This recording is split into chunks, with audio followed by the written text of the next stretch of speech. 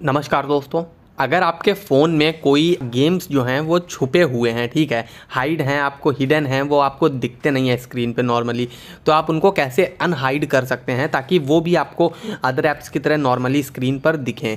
तो अनहाइड करने के लिए क्या करना होगा? सबसे पहले आपको जाना होगा अपने फ़ोन की सेटिंग्स में, ठीक है? और जैसे ही आप सेटिंग्स में जाएँगे तो आपको इस टाइप का इंटरफेस मिलेगा।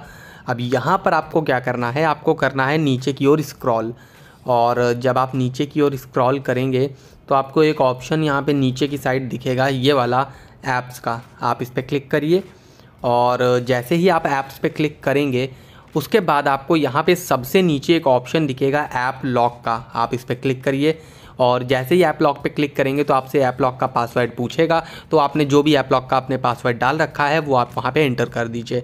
उसके बाद आपके सामने आएगा इस टाइप का इंटरफेस अब यहाँ पे आपको क्या करना है, सबसे ऊपर एक ऑप्शन दिखेगा हिडन ऐप्स का।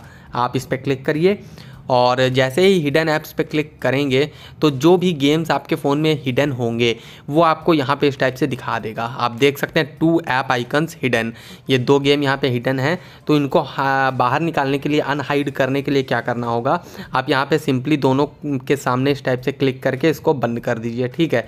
अब जैसे ही बंद कर देंगे तो ये आपकी स्क्रीन पर वापस आ जाएँगे।